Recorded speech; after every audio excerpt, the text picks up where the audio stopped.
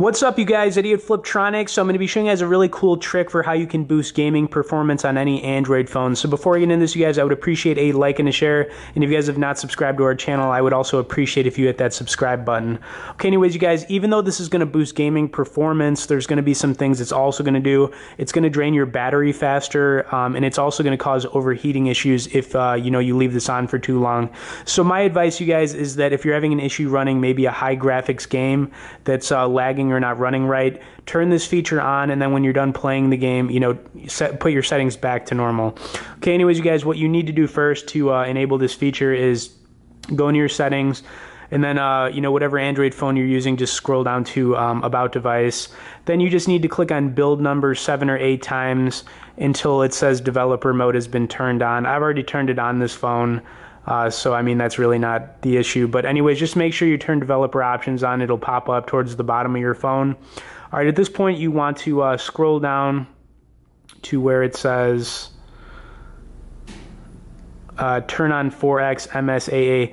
Basically, what this is going to do when you turn this on, you guys, is make your phone run at the highest quality for uh, you know playing games. But like I said, I've already explained the downsides to turning this on.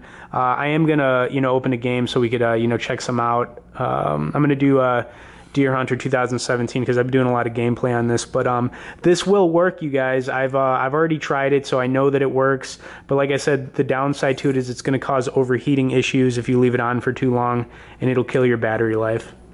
But anyways, let's uh, kill some deers while I'm uh, you know showing you guys this uh, this cool little trick.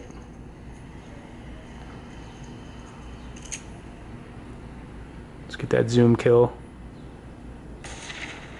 taking down that sick deer.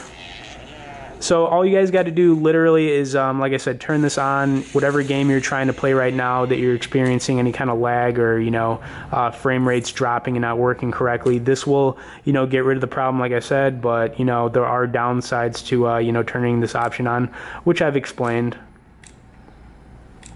I think I have enough cash. Yeah, all right.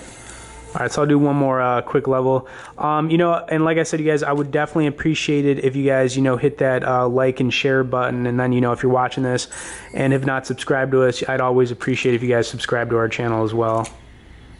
Let's try to get that. Got that infrared. This game's so cool.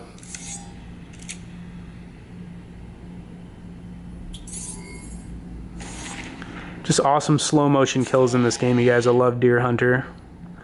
Okay, guys, I'm wrapping it up there. As always, I appreciate you guys watching this video. I hope this helps you out if you guys are maybe using an older Android phone or having issues. Um, and uh, we will see y'all later.